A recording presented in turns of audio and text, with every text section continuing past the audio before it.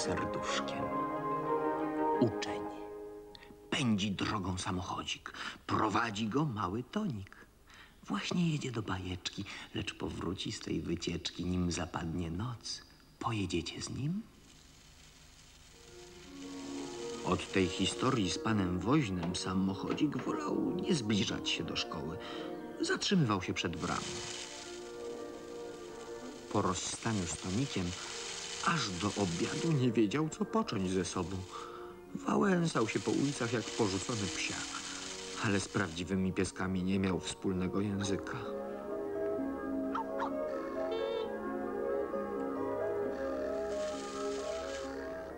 Próbował więc pobawić się z niemowleczkiem.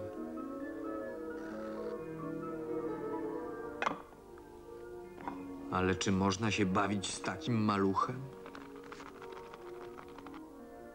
Tułał się więc dalej po mieście, nie wiedząc, co począć z wolnym czasem.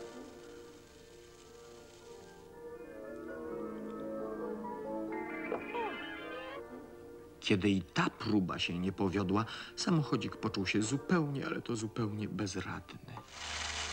Nauka jazdy to coś dla mnie.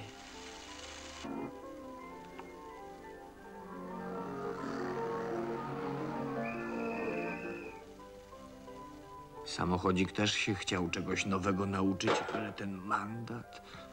Chyba nic nie będzie z tej nauki.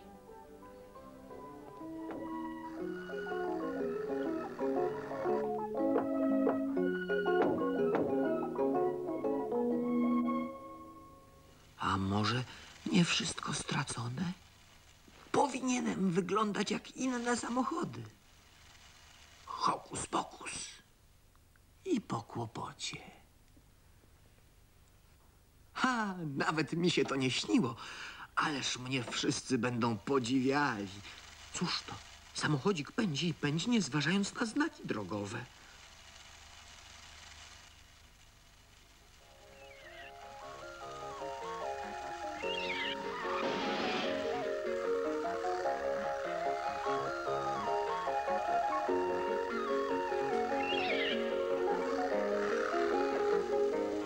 Uwaga na pirata drogowego, zablokować mu drogę.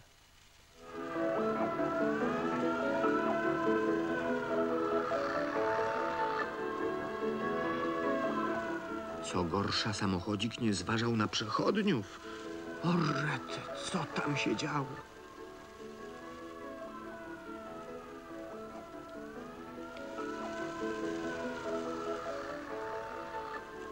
Na szczęście samochodzik zmęczył się. Tylko szkoda, że za jego szaleństwa dostało się uczennicy kursu samochodowego. Z początku to nikt nie mógł się zorientować, co się stało.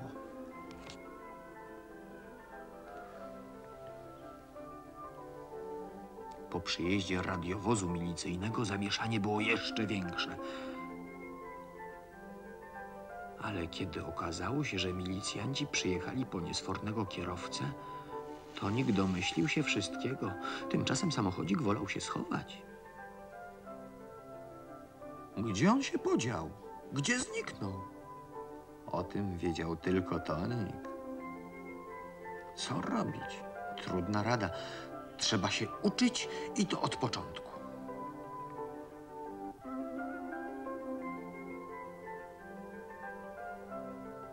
Widziałeś, jak należy się poruszać na skrzyżowaniu?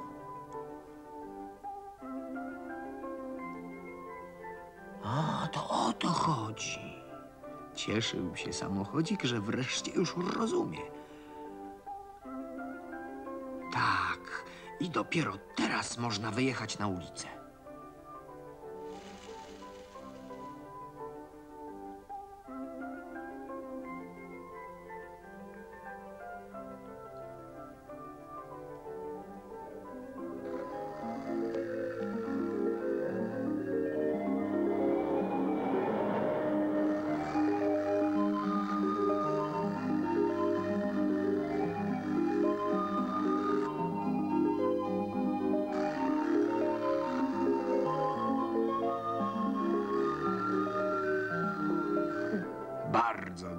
Dobrze, doskonale.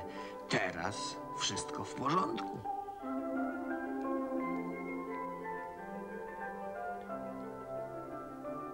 Tę celującą ocenę otrzymali wspólnie uczennica i samochodzik.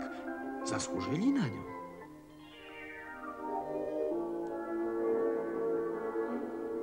A samochodzik? Nim minęła chwila, znów był w kieszeni Tonika. Całe szczęście, że ta historia dobrze się skończyła. Samochodzik cieszył się, że wreszcie umie jeździć po ulicach, tak jak prawdziwe samochody, a tonik cieszył się, że jego przyjacielowi nie stało się nic złego.